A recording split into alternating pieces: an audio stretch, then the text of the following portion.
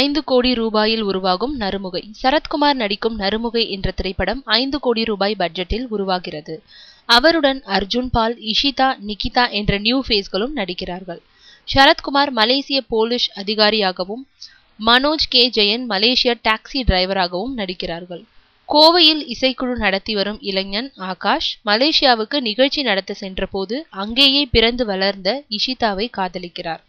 இதைத் தொடர்ந்து அங்கு ஒரு சிக்கலில் மாட்டிக்கொள்கிறார். அதிலிருந்து அவரை சரத்குமார் மீட்பது போலவும் அந்த சிக்கலுக்கு காரணமானவர் car driver Manoj K. Jayan என்பது போலவும் சொல்கிற கதை. எண்பது பேர் கொண்ட குழு ஒரு மாதமாக மலேசியாவில் தங்கியிருந்து எண்பது சதவீத படப்பிடிப்பை முடித்திருக்கிறார்கள். மீதி இருபது சதவீதம் கோவையில் படமாக்கப்பட இருக்கிறது. தமிழ் மலையாளம் இரண்டு மொழிகளிலும் படத்தை இயக்குகிறவர் மேஜர் ரவியின் உதவியாளர் ஜான் ராபின்சன்.